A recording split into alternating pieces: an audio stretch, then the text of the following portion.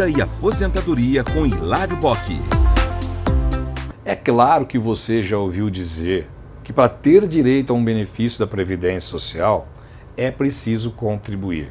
A contribuição ela é inerente à concessão de algum benefício na Previdência. A gente chama isso em direito de princípio da contrapartida.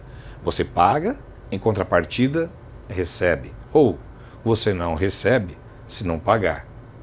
Mas tem exceções.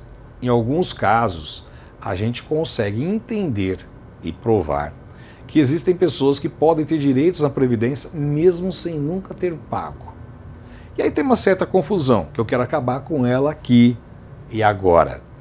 Tem um benefício na Previdência que é o benefício dos segurados especiais. Tem um benefício na Previdência que é para os segurados empregados, domésticos e avulsos.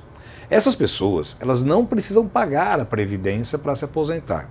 E tem também o benefício assistencial, que é o BPC LOAS, Benefício de Prestação Continuada na Lei Orgânica da Assistência Social. Eu vou falar primeiro sobre o benefício previdenciário, depois sobre o assistencial, que são situações em que a pessoa tem direito ao benefício sem contribuir. Por exemplo, o empregado trabalha, mas o empregador não paga previdência. O empregado doméstico trabalha, mas o empregador não paga a previdência. O trabalhador avulso trabalha, mas o empregador não paga a previdência.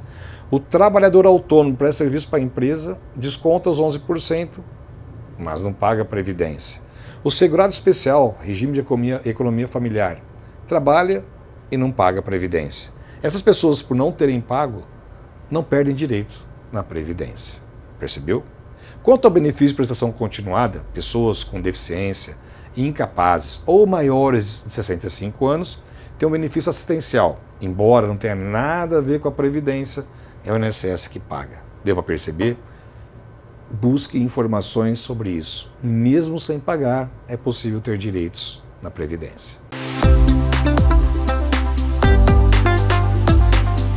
Vida e Aposentadoria com Hilário Bock.